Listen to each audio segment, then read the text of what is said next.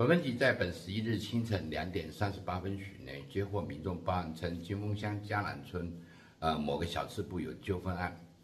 经过我们严谨持付现场呢，当事人均已经离开。啊，据警方调查呢，当事人有四名均是来自于太马里的民众。啊，这四名呃民众呢是到该小吃部来消费饮酒。因酒后呢因欠价呢与本地的周姓民众发生肢体冲突。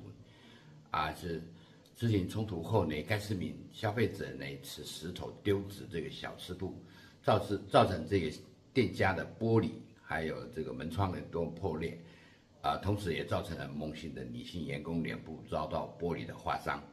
该市民涉案人呢，经由本分局传唤档案说明，那前案的一这个伤害罪，还有这个毁损以及妨害秩序等罪嫌呢，移送台中地检署侦办。大五分局呼吁呢，绝对不容许有任何不法分子在辖内滋事。警方对于暴力的案件绝不宽待，定从速侦办。将不法分子呢追缉到案，以保护民众的生命财产的安全。